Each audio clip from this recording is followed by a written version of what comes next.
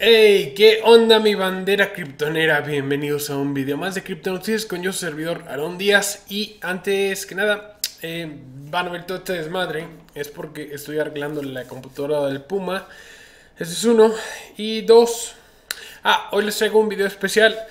Eh, bueno, o sea, además de este, ah, cuando acabe voy a hacer otro video acerca de la prohibición, según esto, la supuesta prohibición hacia Banco Azteca, porque me, me preguntaron en los comentarios, oye, ¿sí es cierto que Bitcoin está prohibido en México? No, no está prohibido. Y está creando mucha confusión.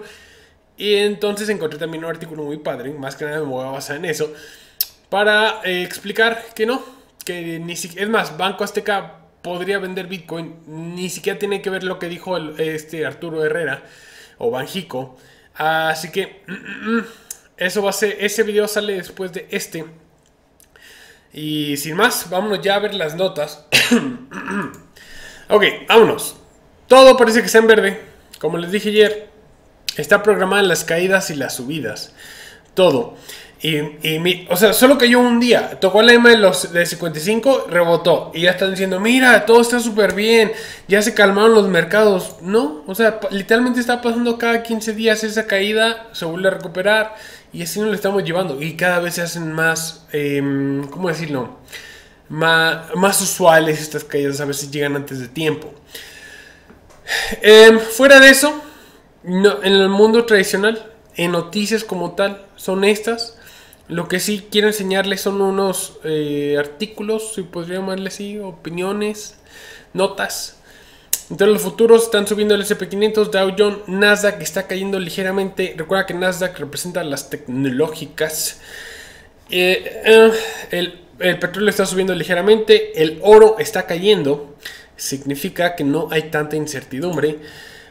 Vamos a ver qué más. Los bonos de gobierno de 10 años están aumentando su su interés que generan significa que se están vendiendo, está habiendo más dólares ya en el mercado y por eso vemos que están subiendo las acciones, porque se pasaron primero mucho estos bonos, se redujo la, el, interés que generan, o sea, se pusieron a comprarse, ahorita que ya se compraron de más, se están vendiendo y se están pasando a las acciones, inclusive hasta al Bitcoin.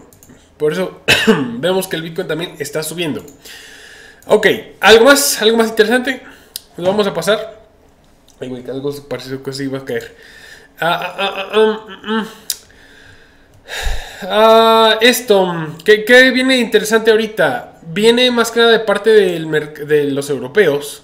No interesante, sino notas que hay que destacar. Primero que nada, es que, o sea, literal las acciones subieron y subieron un buen las acciones de Inglaterra y nos dicen que es... O sea, ¿por qué crees que más bien, te lo voy a preguntar a ti. ¿Por qué crees que las acciones de Inglaterra subirían? Sí, nos, literal nos acaban de decir hace dos días que los mercados estaban colapsando gracias a la variante Delta. Nos lo estaban diciendo. Y ya dicen que ya se calmaron los mercados. O sea, ¿cómo se le pasa tan rápido el miedo a los inversionistas? Es algo que de verdad se me hace tan difícil de entender cómo Yahoo Finance puede intentar manipular la verdad a este punto. Y no solo es Yahoo Finance, o sea, agárrate a todos, a todo el grupo de, medios de comunicación, eh, voy a decir chayoteros, voy a decir vendidos al régimen, que intentan manipularlo. Bueno, se subieron porque se van a pedir prestados 22 mil millones de libras esterlinas en Inglaterra. Se van a endeudar todavía más.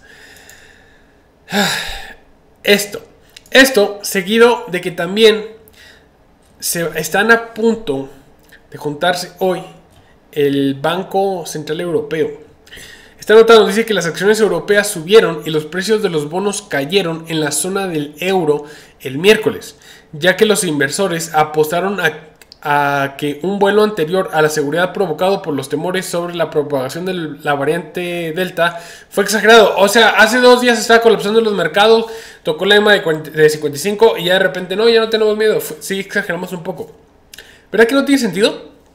O sea, hace dos semanas dijeron exactamente lo mismo, que se caían por miedo a los contagios. Y antes de eso, hace un mes, decían exactamente lo mismo. O sea, se le han pasado cada dos semanas diciendo que esa es la razón. No tiene nada que ver. Nada. Dado que se espera que una reunión clave del Banco Central Europeo el jueves, ah, no dije hoy, ¿verdad? No, hoy es miércoles. Ah, por cierto, voy a decirlo de una vez. Hoy es miércoles 21 de julio, para que no me vayan a regañar. Y por cierto, ahorita no está funcionando el Spotify porque tuve un, problema con mi dominio y estoy intentando resolverlos, pero como son bien padres en el servicio al cliente, te responden como en una semana. Entonces, todos los episodios que no haya subido en Spotify se van a subir. Todos. ¿Va a ser tarde? Sí, pero se van a subir todos. Así que bueno, entonces volviendo al tema. Aquí nos dice que se va a hacer, va a haber una reunión el jueves para, y se espera que se transmita un tono moderado y proporcione un impulso adicional. O sea, van a imprimir más dinero. Esto es lo que está haciendo que se suban las acciones. El hecho de que los bancos centrales están diciendo sí, tenemos que seguir imprimiendo dinero. Tenemos que seguir endeudándonos. Ah, lo que estamos viendo en Inglaterra nos está diciendo tenemos que seguir endeudándonos. En Europa nos dicen nos vamos a seguir imprimiendo dinero, vamos a seguirnos endeudando. El índice de referencia de stocks de, de las 600 acciones más grandes de la región subió un 0.5% ante este ante esto que se espera. Recuerda que las acciones suben o bajan dependiendo de la creencia de la gente, de la mayoría de los inversionistas. Si la mayoría de los inversionistas cree que el Banco Central Europeo va a ser laxo, va a decir, ah, no, no hay problema, sí, vamos a continuar la fiesta, esto va a terminar pasando. Aquí la pregunta es, ¿el dinero fácil, la impresión de dinero, realmente crea riqueza? ¿Realmente estimula la economía? Voy a leerles una nota más adelante al respecto que se me hizo buenísima. Eh, bien, proviene de la escuela de Mises, de Ludwig von Mises. Es excelente. Ah, ok, nos dice aquí que el rendimiento de los bonos de 10 años de Alemania revirtió las caídas iniciales, cotizando más alto en el día a menos 0.4%, ya que hay una sensación de calma más bien ya que una, una sensación de calma regresó a los mercados europeos. ¿En qué mundo vivimos donde literal tú le pagas a... O sea, es que de verdad me cuesta tanto trabajo porque la gente no entiende que vivimos en una farsa, que esto ya se colapsó y la gente sigue bien metidota. A ver, güey, cuando tú inviertes en algo, tú esperas un rendimiento. Por eso se llama inversión. Tú nunca inviertes en algo en tus cinco sentidos, al menos que tengas un buen de un cóctel de superfacientes, superfacientes y te lo ingestes de un solo golpe. Ahí es donde tal vez, tal vez entendería por qué meterías en algo donde estás garantizado de no solo perder dinero en números nominales, sino a través de la inflación, del poder adquisitivo. Vas a perder dos veces seguidas. ¿Por qué lo harías? Y lo, aquí no lo quieren ver como que es algo bueno. Literal está menos 0.4%. Esto es Europa. Literal estamos viendo, estamos siendo testigos como los países primermundistas que tanto se jactaban de restregarnos en la cara a nosotros los mercados emergentes, que éramos pésimos, resulta que están fracasando. Resulta que están, están colapsando. Si nos vamos, viene, quiero enseñarles esto. Eh, el dólar subió. No sé por qué tengo tanta comezón. El dólar subió. Eh, el euro cayó contra el dólar. Eso está ok, padre. El dólar ya se subió más contra el peso mexicano. En las commodities, la madera cayó ligeramente. Algo que también estaba viendo que subió. ¿Recuerdan cómo les dije que íbamos a ver variables bien fuertes de, de que iba a haber demasiada volatilidad. Pues esto, de ahí no podemos ver. Ay, mira, ya se dañó esto. Déjalo, cambio aquí, pa, pa, pa. Listo. Esto también lo podemos ver aquí. Este es el, precio del estaño. Vean esto. O sea, es que gracias a esta hiperinflación que se está creando, o no hiperinflación, es que hay, inflación en algunos puntos, pero hay deflación en lo general. Y está bien cañón de responder a todo esto todo se está colapsando al mismo tiempo, todo, y los precios tenemos mucha volatilidad, entonces parece que hay deflación, por eso vemos que el precio del dólar sube, el precio del dólar sube contra otras monedas, pero porque todo está cayendo. Entonces vean esto, el precio del estaño, vean este pico, ¿dónde tuvimos este pico de inflación? Porque esto es inflación. Lo vimos exactamente igual en el 2011. Vimos un pico en el 2008, se cayó, ya que se, se entramos en recesión y luego empezó la impresión de dinero y subió disparadamente. Estamos en el mismo punto otra vez. Se están creando bolsas de burbujas en distintos sectores y es lo que estamos viendo actualmente. explotan, caen. También me pregunto si los, si los sectores bancarios, si la GAFI va a salir a prohibir el TIN o el estaño, ya que es muy volátil. A todo lo que nos han estado diciendo de que como cripto es muy volátil, tenemos que prohibirlo y bla, bla, bla, y proteger al consumidor que es demasiado mm, bobo. no sé si van a hacer eso. Obviamente que no, pero es una forma de burlarnos ante lo estúpido que son. Pero lo que les quiero enseñar es que aquí ahí abajo hay una tablita y quiero analizarla rápidamente. Y dije, bueno, ¿qué países veo que sea justo? dije, ya sé, lo que voy a hacer es me voy a fijar en, lo, en mis espectadores, las personas que me vieron en el video de donde decía que todo se colapsaba, bolsas, acciones, creo que este es el video de antier, de lunes. Y dije, bueno, vamos a ver primero que nada México, está en primer lugar. México, ¿dónde estamos? Aquí está México. ¿No lo puedo señalar? ¿Sí lo puedo señalar? Sí lo puedo señalar. Ok, perfecto. Entonces, viendo México, déjalo, hago para acá. Nos dice que México está en su GDP en el lugar número 1076. No, eso no tiene sentido. No, no tiene sentido. Más bien a ser millones de dólares. Sí, mil millones de dólares. Ok. El Producto Bruto, comparado año con año, estamos en un retroceso de menos 3.6%. Tú vas a decir, güey, eso es pésimo. Te voy a decir, sí, relativamente. Porque si lo comparamos con Estados Unidos, me vas a decir, no manches, Estados Unidos está a punto 40%. Pero Estados Unidos se han dado un buen y empresa un buen de dinero. México no. Es una gran diferencia. Ok, viendo el, el Producto Bruto de trimestre con trimestre, o cuatrimestre con cuatrimestre, está creciendo, ¿sí? A 0.8%. La tasa de interés, esto es bien importante, México está al 4.25%. Mientras que tenemos a, si nos fijamos en, en lo primerbundista, en los que se jactan de ser de sangre azul, Estados Unidos 0.25, Europa 0, Japón menos 0.10, Alemania 0, de hecho está más abajo, vimos que está menos 0.4. Sí, en México literal todavía puedes invertir en tu país y sacar dinero. La tasa de inflación está al 5.88%, está alta. ¿Por qué la tenemos así? Porque no lo está pasando en Estados Unidos. En Estados Unidos está al 5.4%. No hay para dónde correr. lo que me sorprendió, y de hecho lo estoy comparando ya con Estados Unidos, entonces me voy a brincar a Estados Unidos en la siguiente, es que la tasa de desempleo literal la tenemos más baja que en Estados Unidos. La tasa de desempleo tenemos al 4% y en Estados Unidos está al 6%. Bueno, sabemos que Estados Unidos no quiere trabajar. El déficit, en México tenemos un déficit del menos 4.6%, mientras que Estados Unidos está al menos 15%. Si tomamos en cuenta la, mm, la deuda contra el Producto Bruto, está al 45.50%, mientras que Estados Unidos está al 107% y vean a Japón, esto es una reverenda mamada, está al 266.2%. O sea, Japón está pero. Es, casi cuatro veces más lo que produce. Literal, viéndolo así. Imagínate que tú produzcas 25 pesos y por cada 25 pesos que produzcas debes 100 pesos. ¿Entiendes? ¿Entiendes qué tan mal está Japón? Japón está horrible, está colapsada, está en el hoyo. Eh, ¿Qué otro? ¿Qué otro? Bueno, aquí de nuevo, todos los países primerbundistas súper endeudados. Ah, pero son. Aquí salió, había salido el otro día un economista de derecha diciendo, ah, la deuda genera riqueza. Sí, güey, ¿en dónde? Vato pendejo. Eh, perdónenme. Perdónenme. Perdónenme. Ya no lo digo. Ya no lo digo. Ok, terminando. Y aquí en México tenemos una puntuación de 2.4 por 2.4 positivo. ¿Eso es bueno?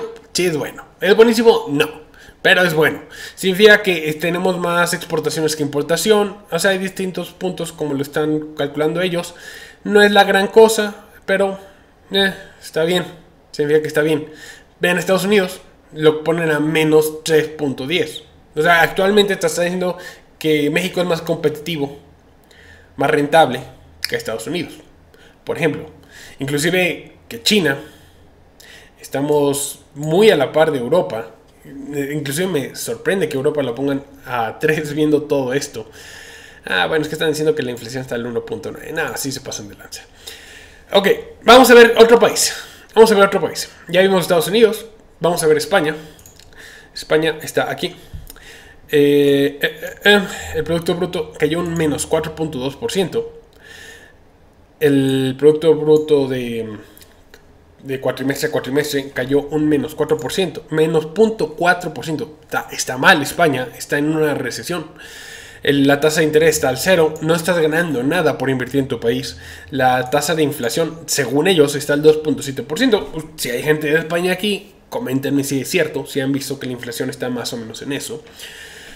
Eh, la tasa de desempleo está horrible, está al 16%. Tienen un déficit del menos 11% y tienen una deuda del 120% con relación a su Producto Bruto. ¿Qué significa esto? si tú ganas 10 pesos, significa que tienes una deuda, bueno, 10 euros. Significa que por cada 10 euros que tú generes, tienes que pagar 12. ¿Tiene sentido? No. ¿Estás en default? Sí, totalmente. O sea, imagínate esto. Ganas 10 euros a la hora. Pero cada hora que trabajas y ganas 10 euros, tienes que pagar 12. ¿Cuándo vas a salir del hoyo? Nunca. Colombia. Vamos a ver Colombia. Ah, bueno, la puntuación de España es punto .7. ¿Dónde está Colombia? Siquiera sé si está Colombia. Colombia. Aquí está. Ok. Dice que tiene un crecimiento anual del 1.10%. Tú vas a decir, güey, no mames, está buenísimo. O sea, el, el, Producto Bruto va creciendo. Vamos a ver. Dice que el crecimiento del Producto Bruto del cuatrimestre con cuatrimestre está al 2.9%. Ahí tú vas a creer, güey, está súper bien, ¿no? Eh, todavía no, todavía no, todavía no. ¿Dónde está? Aquí está. Está al. Su tasa de interés, sus bonos están al 1.35, está bajo.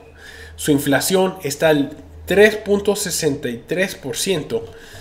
¿Qué es esto? Aquí. Su tasa de desempleo está al 15. Aquí está. 15.6%. Ah, ¿qué, es, ¿Qué es esta otra? Mm, mm, mm. Su déficit. Su déficit de nuevo aquí, está a menos 7.8%.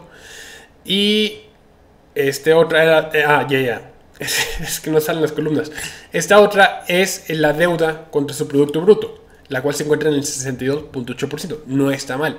No está mal ahorita en términos prácticos la deuda pública con su Producto Bruto. Tiene una puntuación de menos 3.4%. Bueno, no por ciento, 3.4. O sea, no es tan rentable. De hecho, está igual que Estados Unidos, ¿no? No, está un poquito peor que Estados Unidos. En cuestiones de rentabilidad. Vamos a ver a otro, Argentina. De nuevo, esto no es para hacer comparaciones feas. Argentina, está. Simplemente porque es un caso de estudio. Simplemente ver cómo van los países. Eh, recuerda que hay países aquí muy neoliberales, hay unos que no son tanto y bla, bla.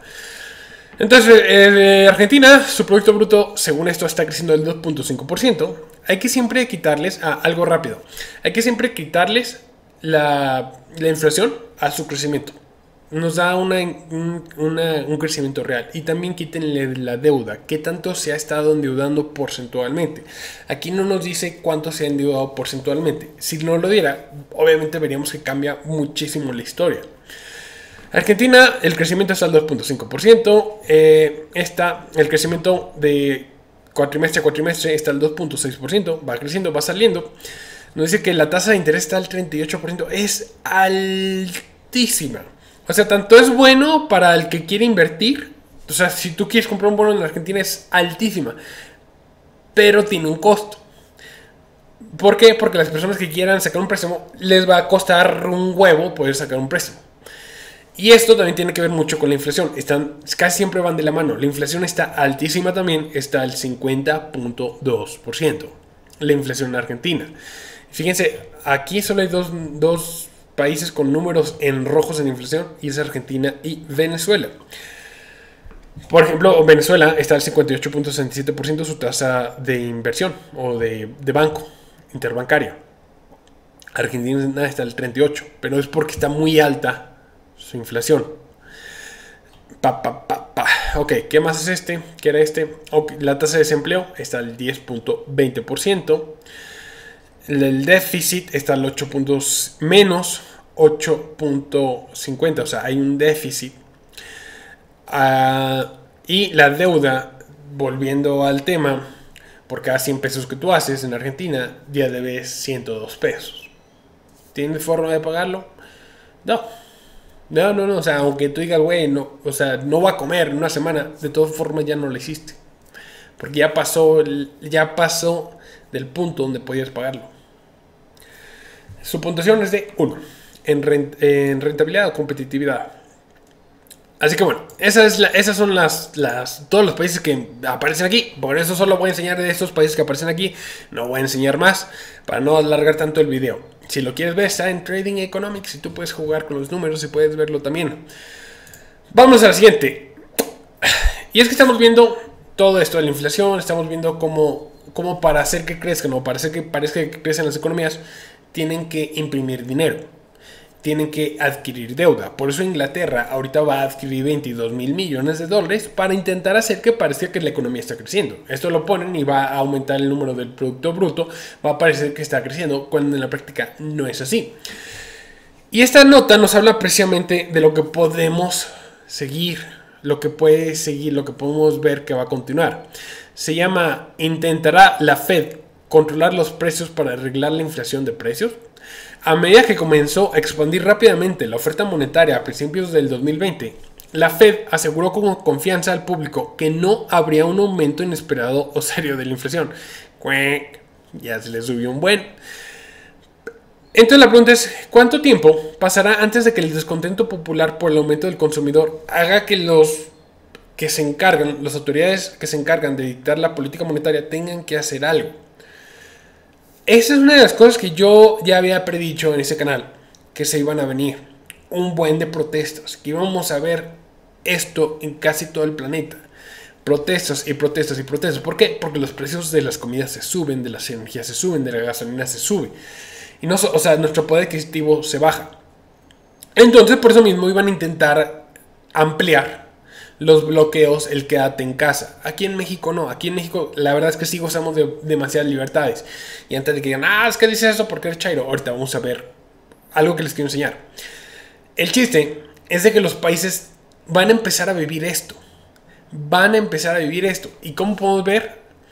Vean esto. Ya, ya solamente buscan, busquen la palabra protest en Google, en noticias. Últimas 24 horas. Ya tenemos aquí ya hay protestas en donde? En Canadá. Hay protestas en Colombia. Hay protestas en Inglaterra. Hay protestas en Rusia. Hay protestas en Los Ángeles. Hay protestas en. No. En Irán. En Manasas. No sé dónde sea Manasas. En India. En India aquí de nuevo. Uh, vamos a ver más. Vamos a ver hasta la página 3. Eh, del Hir Hunter, me imagino que es India. Estados Unidos, mm, mm, mm, Cuba, este, no sé, Maori, no sé dónde sea, Nueva Zelanda, Nueva Zelanda. Vamos a ver dónde más. Kazajstán. Ah, ah, ah, de hecho, en Inglaterra, en el día de la independencia, les metieron una golpiza a los que hicieron unas protestas. La policía, obviamente. Eh, East Bengal. Bengal, no sé dónde esté. No, no sé dónde esté. Entonces, eso es lo que voy. Ya estamos viendo la siguiente etapa de este colapso. de aquí, de nuevo, se les dijo que iba a pasar, que íbamos a empezar a ver cómo subían las protestas de tono en todo el mundo. Y esto, ojo, no lo vas a ver en las noticias, no vas a ver que lo están reportando, pero estamos viendo cómo el planeta se está incendiando en protestas alrededor del mundo gracias a la inflación causada por la impresión estúpida de dinero. Si la inflación persiste o se acelera, los controles de precio pueden presentarse como una necesidad temporal, como se hizo bajo, eh, perdón, como se hizo en 1971 bajo Nixon. Si el pronóstico de la Fed resultara incorrecto una vez más y por un margen igualmente enorme, la presión sobre la administración de Biden desde la izquierda se intensificaría. Ya apoyó la congelación de alquileres. Ya sabemos que las rentas ahorita no se tienen que pagar. Lo siguiente fueron los pagos directos. Sabemos que ahorita Estados Unidos mandaba cheques a los residentes. Un estímulo fiscal masivo todo eso de los impuestos, reducirle los impuestos. Si tienes niño, te reducimos impuestos y casi duplicar el salario mínimo federal. No lo están haciendo, lo quieren hacer, subirlo a 15 dólares, pero en la práctica lo están inclusive cuatriplicando porque los empleadores, los empleados ya no quieren trabajar por un mínimo. Entonces tienen que subirlo a 20 o 25 dólares la hora para convencer a la gente de irse a trabajar. Esto obviamente va a hacer que suban los precios. Y Estados Unidos ha hecho todo esto. ¿Qué, qué hubiera pasado en Estados Unidos? Si no hubieran impreso dinero y, congeladas las rentas o darle dinero a la gente, yo hubiera habido protestas, protestas masivas en Estados Unidos. Y es necesario que no las haya. Entonces, lo siguiente va a ser intentar controlar los precios. Porque si no, vamos a ver todavía más protestas y los medios de comunicación ya no van a poder esconderlas. No las están anunciando. O sea, simplemente viendo esto, no se ve ninguna, no se ve CNN aquí. O sea, sí hay uno que otro medio medio, medio conocido, no, sé, no veo a Fox News. Y estoy viendo las noticias de las últimas 24 horas. No veo a qué otros les gusta. The Guardian, nada. New York Post, Washington Post. Ninguno de ellos lo está hablando. Pero está viendo protestas en todo el mundo. Ahorita.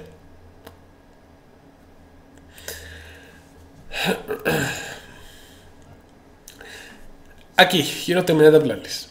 Algún día las cosas van a mejorar.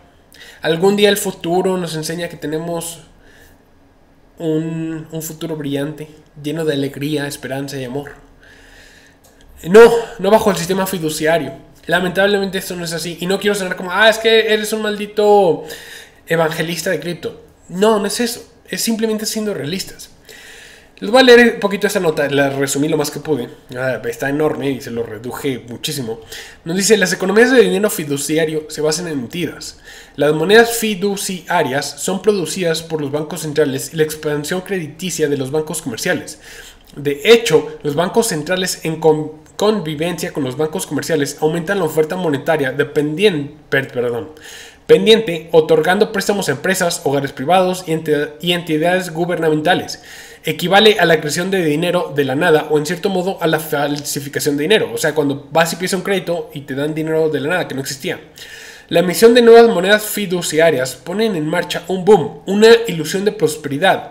El consumo, la inversión se expanden, la economía disfruta de mayores ganancias corporativas, aumentó el empleo, aumentó aumento de las acciones, precios de la vivienda. Es lo que estamos viendo en Estados Unidos que pasó un boom, que todo el mundo tiene dinero, todo el mundo quiere ir a gastar, todo el mundo está de fiesta, todo el mundo consume, va a restaurantes, compra comida, compra ropa, viaja, miren las casas cómo están subiendo, miren las acciones en máximos históricos.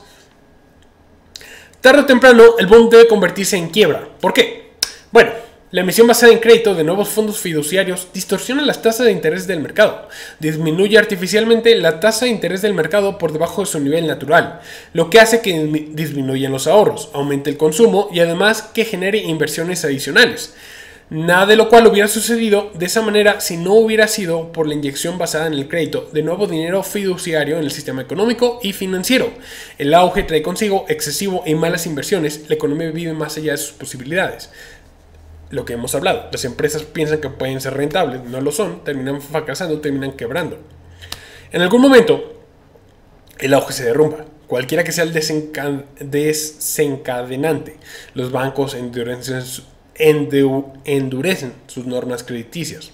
Por eso es que le digo, la Fed no va a subir las tasas. Los prestarios incumplen sus deudas. Este es un problema ya en China. Las empresas incurren en pérdidas. Este ya es un problema en Estados Unidos. Una crisis geopolítica que hace que la gente entre en pánico. No sé, una guerra entre China, Rusia y Estados Unidos con Inglaterra, que hemos estado viendo cómo se está acercando cada vez más. Para evitar que el sistema de moneda fiduciaria colapse, en tal situación, los bancos centrales reducen aún más las tasas de interés, inyectan nuevo crédito y dinero en el sistema financiero. El truco funciona la mayoría de las veces y el busto y el busto y el busto que se despliega se convierte en otro boom. Sin embargo, esto tiene un precio. La gran mayoría de la gente sufrirá una inflación de precios de los bienes aún mayor. Por eso es que vemos que la pobreza en todo el planeta aumentó en el último año por la impresión de dinero, mientras que los más ricos se hicieron todavía más ricos. Se aumentó la desigualdad gracias al sistema fiduciario. Aumentar la cantidad de dinero fiduciario crea ganadores y perdedores. No es un juego de ganar-ganar. Los primeros receptores del dinero se benefician a expensas de los receptores tardíos. Esto es una estafa Ponzi. En última instancia, la política de inflar la oferta monetaria es una estrategia para socavar el mercado libre, por sus, más bien libre mercado, por sus efectos negativos, precios más altos de los alimentos, la energía y la vivienda, menor crecimiento económico, la caída en el nivel de vida de la mayoría de la gente, muy probablemente errónea o perfidamente se culpe al capitalismo. Esto, a su vez, permitirá al Estado destruir aún más lo poco que queda del sistema de libre mercado a través de impuestos, regulaciones, etc. Lo que hemos estado viendo. Quieren regular todavía más el sistema financiero. Quieren saber quién eres tú cuando vas a utilizar una criptomoneda. Quieren prohibirte que puedas utilizar criptomonedas estables. Quieren prohibirte que puedas utilizar Bitcoin, que puedas utilizar el cripto yuan. Todo esto lo están haciendo para socavarte. Y al mismo tiempo te suben los impuestos. Lo vimos en España con sus nuevas reglas. Em, las reglas estas, ¿cómo se llaman? La de los impuestos, de que si mueve más de mil dólares. Gafi estaba diciendo exactamente lo mismo. Estamos viendo esto. Cómo se está destruyendo el capitalismo real. Y cada vez, estas son las tasas de interés de la Fed. De nuevo, esta está sacada de la página de la Fed. Eh, quiero enseñarles esto. se, acaba, se, acaban las tasas de. No las tasas de interés. Se acaba el sistema patrón oro en 1971. De ahí subimos solo dos subidas en las tasas de interés y fue cuando tuvieron que subir las tasas de interés porque la inflación se disparó de golpe. Después de subirlas, jamás han vuelto a subir. Jamás. ve esto, es una escalonada hacia abajo. Entonces cada vez, cada vez que bajan las tasas, se crea un boom económico y todos somos muy felices porque la economía va creciendo. Porque como dijo el imbécil del economista este de derecha, que, ah, es que, la, es que el endeudamiento crea riqueza. Esto pasaba y todo el mundo, uh, todos felices. Y todos los negocios salían y había menos desempleo porque más personas se ponían un negocio pensando que eran rentables. Esto era en las cuando se bajaban las tasas de interés y luego cuando se daban cuenta que empezaba a crear inflación, tenían que subir las tasas de interés y se le pasaban así hasta que las iban bajando lentamente porque de nuevo se empezaba a colapsar la economía y tienen que bajarlas aún más de como estaban antes para incentivar la economía. Y luego dicen, ah, es que la inflación de nuevo se está levantando, ah, hay que subir las tasas de interés. Oye, pero ya es que estamos en una burbuja, ya la gente no hay dinero, se está creando deflación, hay que bajar las tasas de interés para promover de nuevo un crecimiento económico. Y estamos aquí, y estamos en las tasas de interés bajas. ¿Van a intentarla subir? Tal vez. ¿Va a funcionar? No. Porque sabemos ya el camino, ya sabemos la historia. Van a volverlas a bajar para crear un boom y todos celebrar de ¡ay! Está funcionando a la perfección.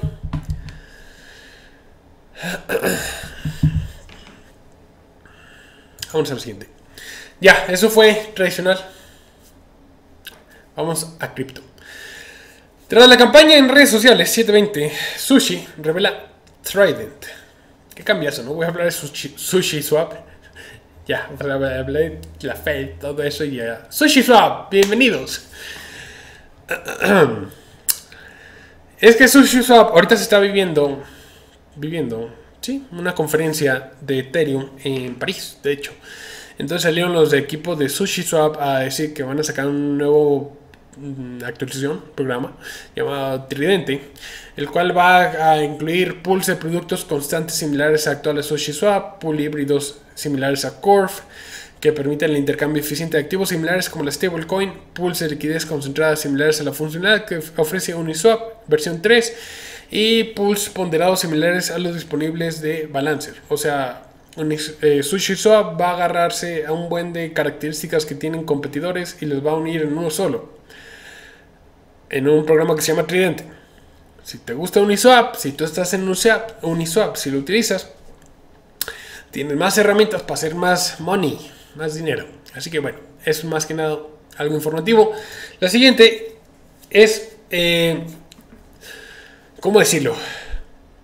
Es una nota súper popular, no en el sentido de que era buena, sino que es mala y que obviamente se la pasaron repitiendo. Pero vean quién la repetía. Bloomberg, The Irish Times, Reuters, CNET, The Guardian, Asumetech, PC Gamer, Crypto Potato. La primera, esta es la primera que vemos que es de cripto. TweetDown, Finance Magnate, Magnates, ¿no? no sé. Diciendo, eh, Europa prohíbe o veta la anonimidad en Bitcoin. Ese es el título de la nota. Tú lo lees y dices, güey, ¿qué pasó? ¿Europa va a banear Bitcoin? ¿Qué va a hacer? Porque dice, el precio de Bitcoin cae mientras Europa jura que va a hacer que las criptomonedas sean eh, rastreables. ¿Verdad que es una nota bien cañona? O sea, el título, el título. ¿Y quién lo reporta? Puros medios vendidos. No hay ni uno solo de criptomonedas, o sea, específico del nicho de las criptomonedas. Es puro medio vendido. ¿Vendido a quién? O bueno, no vendido. servil. Servil a las élites.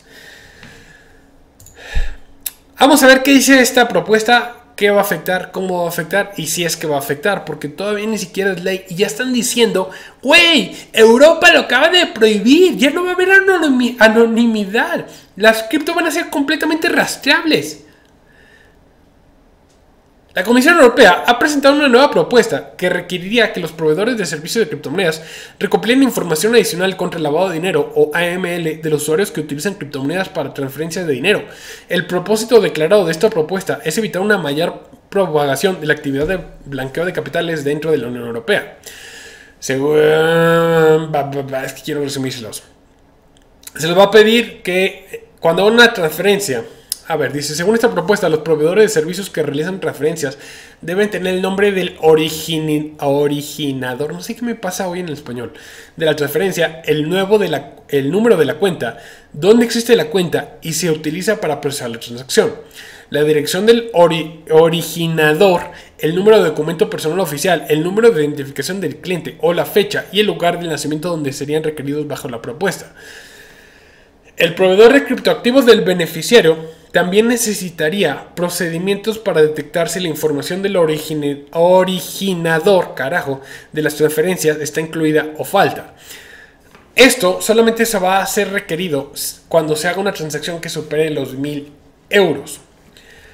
Mil euros. En caso de que los. Eh, en, en caso en los que haya una serie de pagos que superen los 1000 euros, pero no parezca estar conectados, el proveedor de servicios de pagos no necesitaría verificar la información a menos que efectúe el pago de fondos en efectivo o en dinero electrónico anónimo o tiene motivos razonables para sospechar de blanqueo de capital o financiamiento del miedismo. Ok, entonces te está diciendo lo que están creando una, eso es una propuesta de ley, no es una ley, no es que la Unión Europea ya pasó esto ya valió caca todo. No, es una propuesta de ley.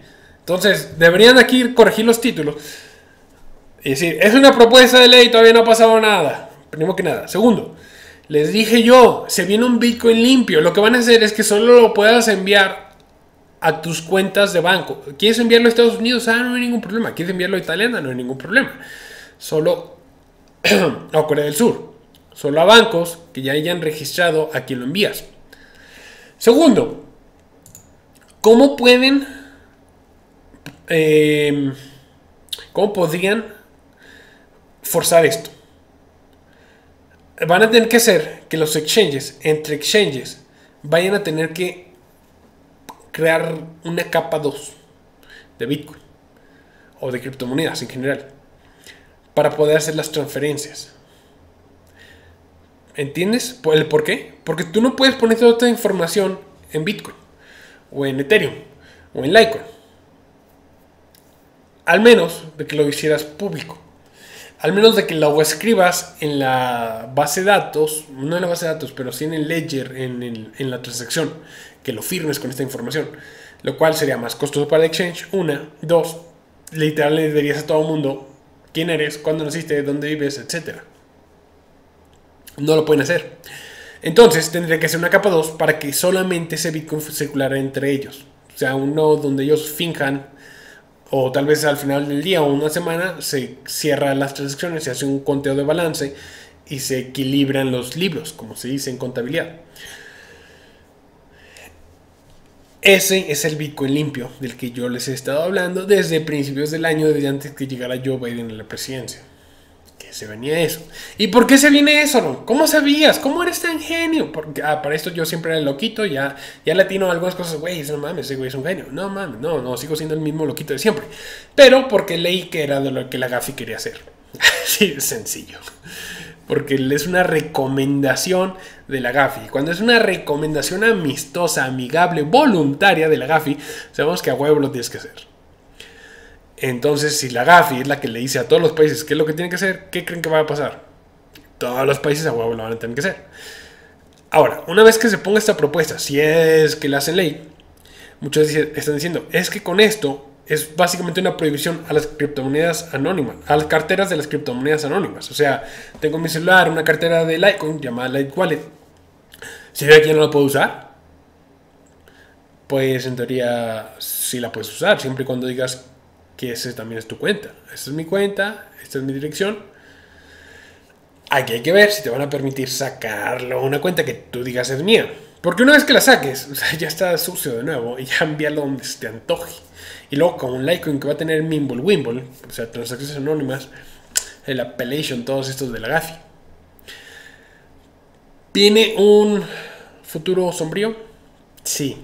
¿Van a intentarlo controlar todo a través de lo digital? Sí. ¿La herramienta para defendernos va a ser también digital? También. A través de la cripto. Van a intentarte saber todo de ti Van a intentar saber controlarte a través de CBDCs. Van a, eh, van a empezar a censurar el Internet también. ¿Va a haber resistencias? También. Pero es bien importante que sepas qué es lo que va a pasar para que sepas cómo actuar cuando vaya a pasar. Esto es el futuro. Esto es el Cyber Polygon. Esto es el gran reseteo. Bienvenido al futuro. ¿Pensaste que íbamos a tener carros voladores? No. Vamos a tener control gubernamental más fuerte. Todas las propuestas tienen como objetivo mejorar el rastreo de transacciones sospechosas y detener actividades delictivas previamente señaladas, según ellos. Sin embargo, aún podría pasar hasta dos años antes de que esas propuestas regulatorias se conviertan efectivamente en ley. Dos años. Y ya están diciendo que es ley. ¿Verdad que no tiene sentido? No.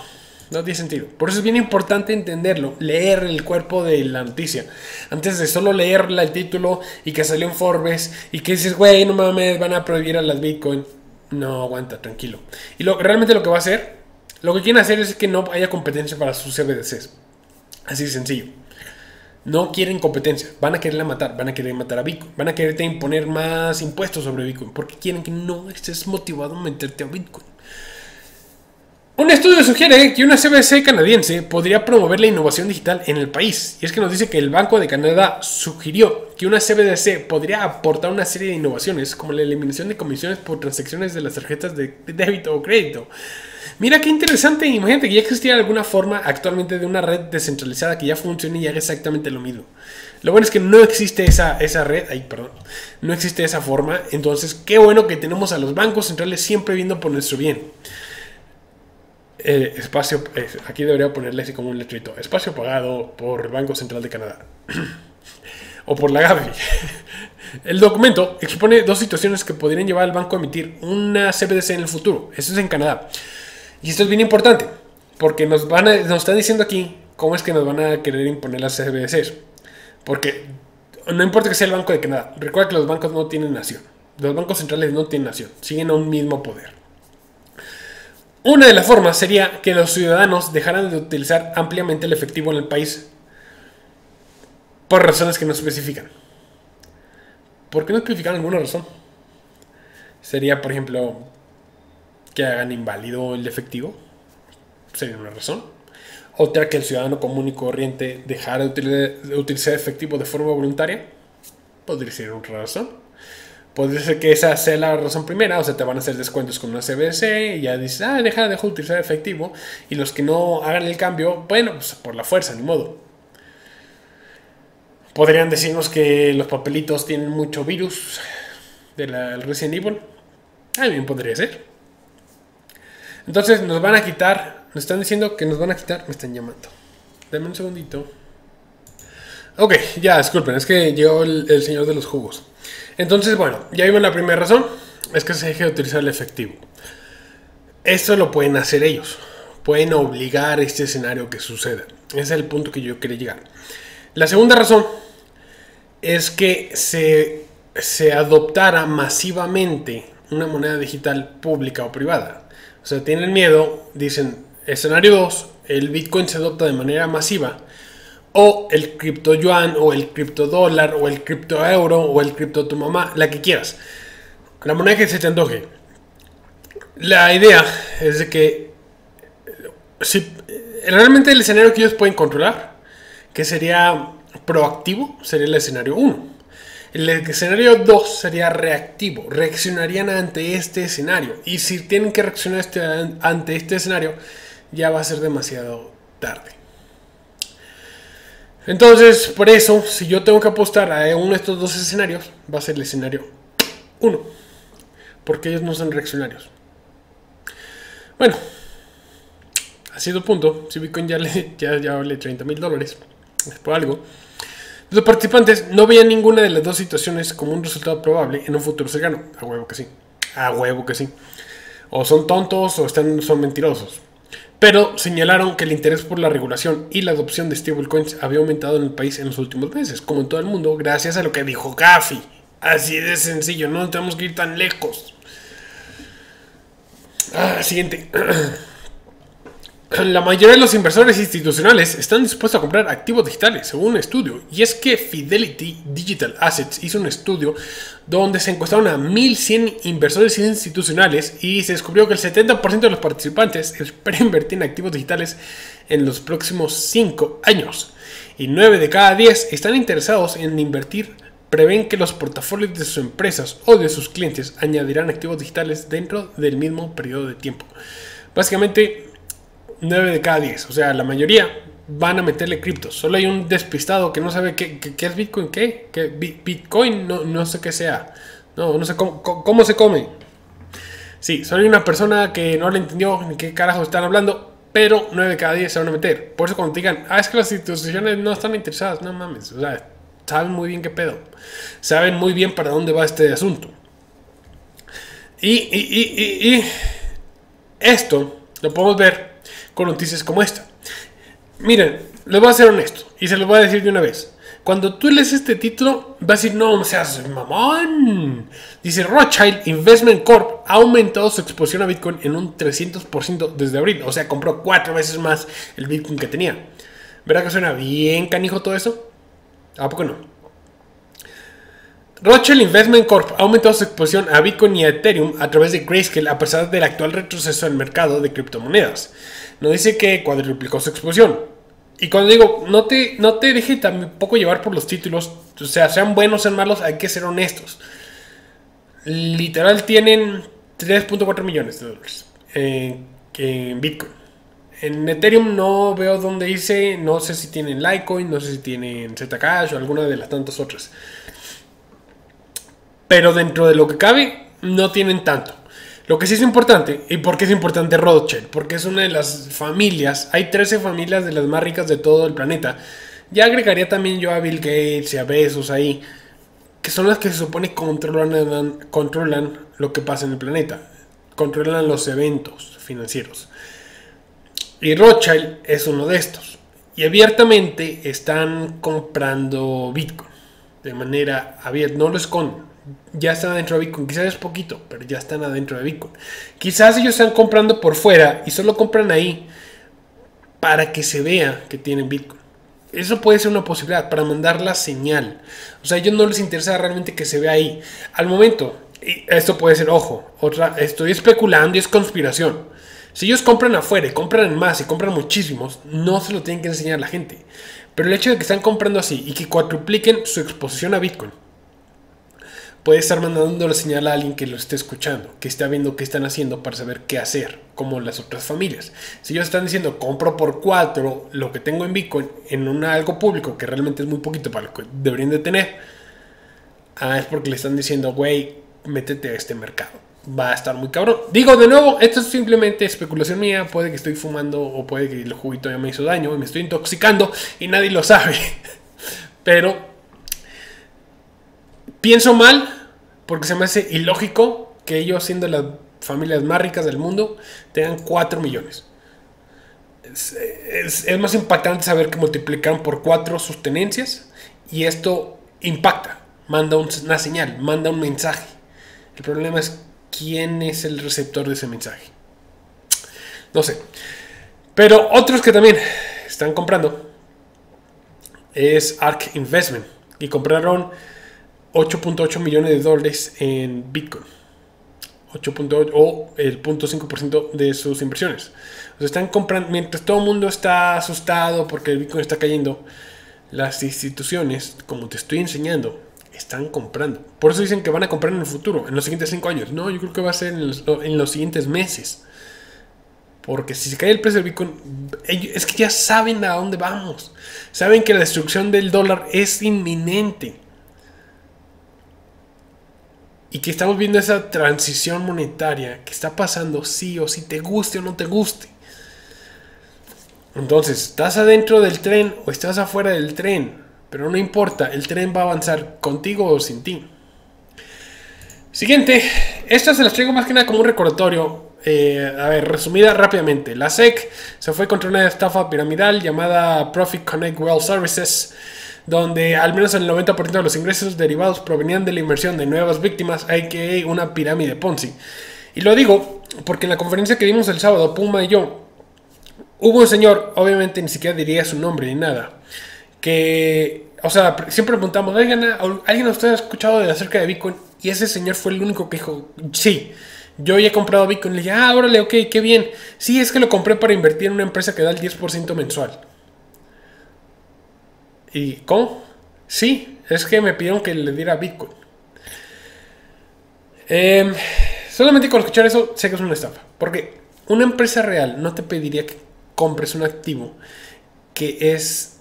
Eh, no lo puede... No, mira, por ejemplo, si tú en tu banco, tú inviertes en un lado y es una transferencia de banco, podrías hacerle de pedo. Podrías decir, ¿sabes qué? Invertí en esta empresa, aquí está la transferencia, esto es una prueba. Pero cuando está en Bitcoin, cuando el gobierno mexicano, cuando las regulaciones dictan que el Bitcoin no vale nada, y tú compras Bitcoin para dárselo a una empresa, eso es que legalmente le está dando cero. Te van a estafar. Al señor no se lo pudimos decir ahí en el acto, porque pues obviamente es, es un es un poco fuerte decirle, oye, güey, ¿sabes qué te están estafando? Eso es mentira. Pero se los digo como una anécdota. Dicen que experiencia en cabeza ajena vale por dos. Para que ustedes aprendan. Todas estas empresas que te dicen, porque siempre son, son muy innovadoras, tienen cloud mining, tienen todo esto. No es probable que sean estafas. Ok, siguiente. La manifestación en contra de la ley del Bitcoin no recibe respaldo en El Salvador. Y es que por más estúpido que pueda parecer, un grupo como de siete personas se va a manifestar en El Salvador en contra de la ley Bitcoin. Dice, ayer 20 de julio, un grupo de salvadoreños compuestos principalmente por miembros de diferentes sindicatos y asociaciones de estudiantes universitarios. En cuanto leí eso dije, no, güey, esos güeyes los mandaron. Pretendiendo aglutinar un mensaje contra la ley Bitcoin promovida por el gobierno de Nayib Bukele. Imagínate, es un estudiante y eres un milenio, lo más probable. Tu futuro te lo robaron, te lo robaron las generaciones pasadas. No tienes poder adquisitivo, no vas a poderte comprar una casa. Es muy probable que un carro te va a costar lo que antes les costaba comprar una casa. Entonces vete despidiendo de tener una calidad de vida. Y la única, la única herramienta que tienes para recuperar esa calidad de vida robada es Bitcoin. Te manifiestas en contra. Obviamente, por eso hay como siete personas aquí.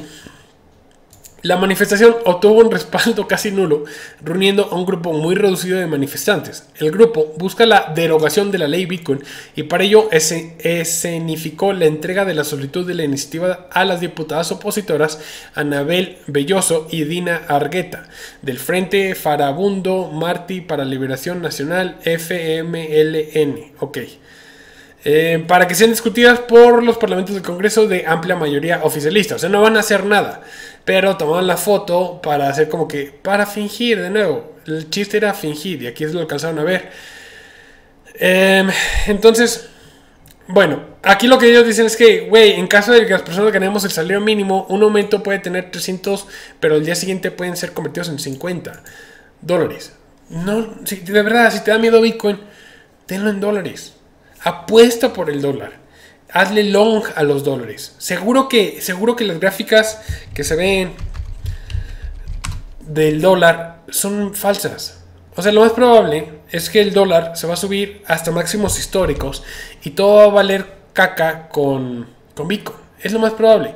Es lo más probable que si vemos esta gráfica del dólar y la vemos, si quieres, a largo plazo, a mes, mes tras mes, aunque nos diga que su trayectoria es hacia abajo, es probable que no. Tú apuéstale a la larga. Tú apuéstale a que el poder adquisitivo va a recuperarse en el dólar. Es lo más probable, ¿no? Entonces no hay ningún problema. Este es el poder adquisitivo del dólar. Se está yendo al carajo. Apuéstale.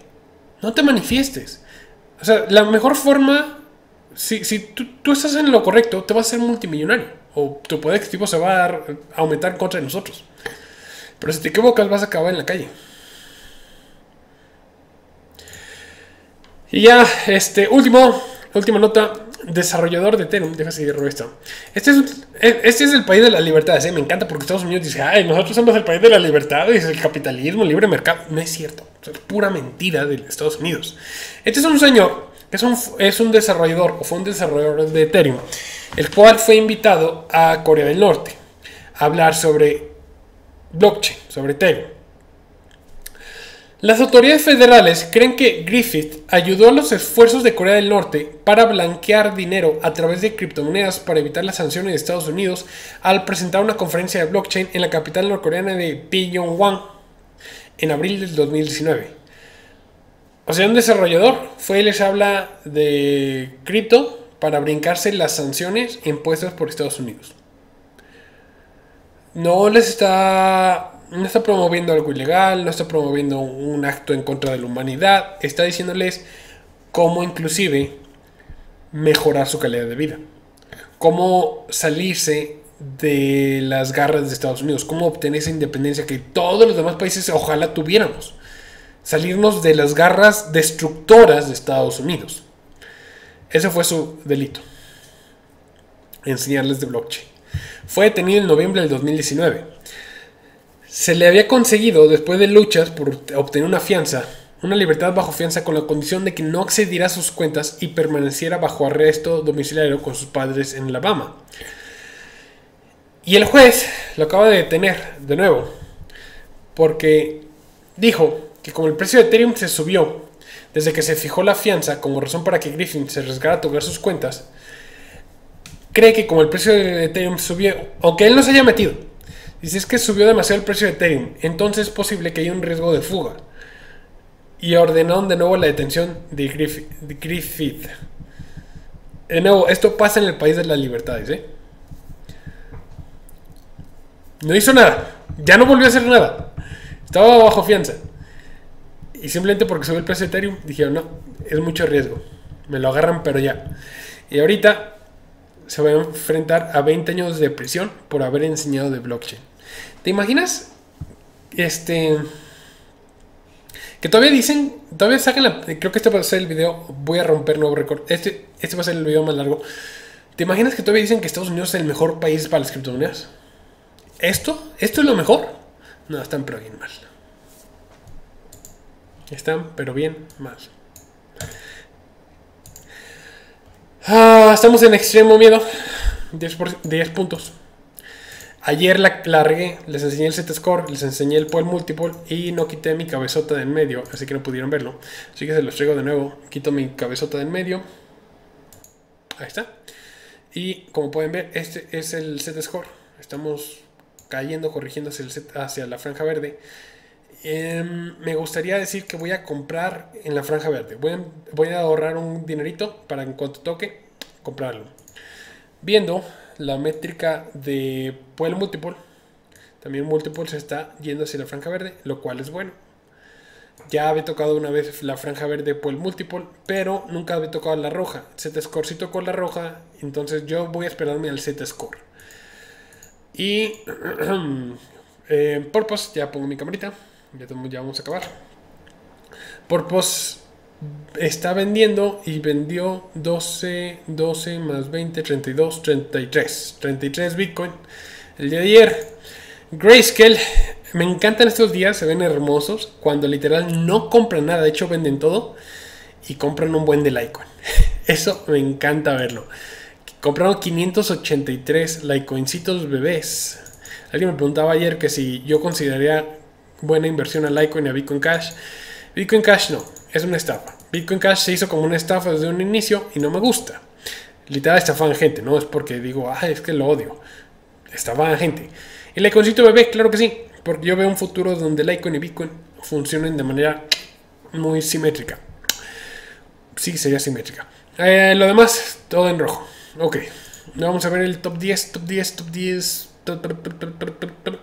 Creo que es... No, Dogecoin. Dogecoin se lleva el top 10 con un 18% a la alza. Mientras que en el top 100 es Torchain o Run. Se está recuperando después de la mega caidota que tuvo. Con un 31.18%. Leemos los comentarios. Carlos Terán, Nad Chan, Marco Reyes, Ángel Rodríguez, Salomoncito, Ricardo Díaz, Yael Super, Celestín, Nicolás Fernández, eh, Erika Castillo, Rosa Carolina, Mario Orozco, Israel González, Amaury Núñez, Yagami Light, eh, King, Luis Flores, Roche Player, Ángel Martínez, Roberto Galarza, Marfabi Rojas, Mister Emprendimiento, José Boque, EA, Vanessa, Supertor y ya. Ah, bueno, Roberto Galarza creo que ya lo he dicho. Muchísimas gracias por haber comentado. Recuerden que esto nos ayuda, es una forma gratuita de que ustedes pueden comentar, nos ayudan, nos apoyan. Yo los veo el día de mañana. Cuídense. Bye. Ah, no, los veo en un ratito más. Cuídense. Bye.